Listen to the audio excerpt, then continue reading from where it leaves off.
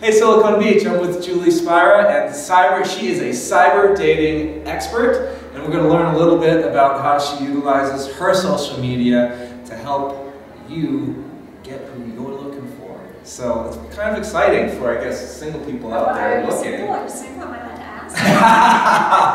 I ask everyone. I'm currently dating in a relationship, so I don't know if it would quite work for me, but I've got some friends that I can pass on the information well, first of all, I use social media in just about every part of my, my life. And I was a very early adopter of the internet and a very early adopter of social media. So when I created Cyber Dating Expert, um, that was probably, we're just celebrating about five years now.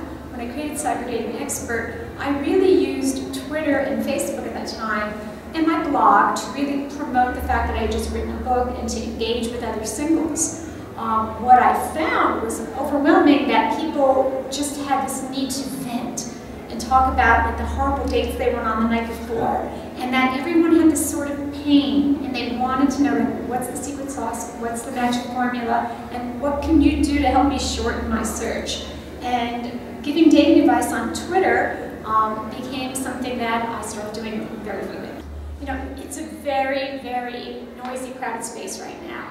Um, when it used to be my blog and Facebook and Twitter, now it's my blog, it's Facebook, it's Twitter, it's my Pinterest page, it's my LinkedIn profile, it's Google+, it's doing Hangouts, and I could just go on and on and on. And oh, by the way, I'm doing, you know, Vine videos and, uh, um, and of course now 15 second Instagram videos.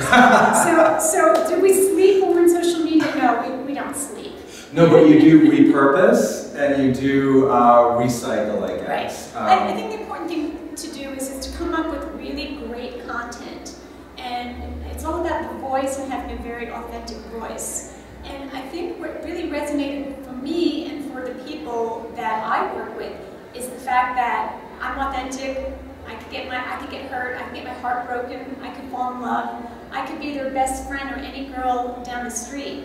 And the day that people understand that this transparency where you don't want your clients knowing anything about your personal life, that's just such old news.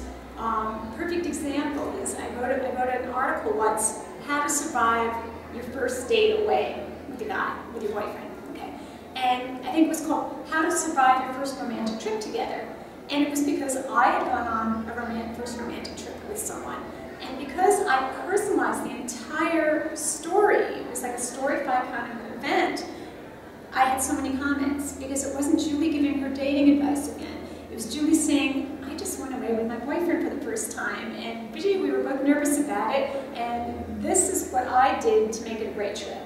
And the outpouring comes from people saying, thank you for writing that because it's summertime and I'm getting ready to go away with my boyfriend for the first time, and gee, what do I pack? And I'm a little nervous about And that's kind of the test. If you can get together for a couple of days the first time, then you kind of know there may be something there. It's so. a huge test. it causes a lot of anxiety, and I think if we can use social media to, to lessen the anxiety and to engage with people everywhere, um, the need to love and be loved is a universal feeling.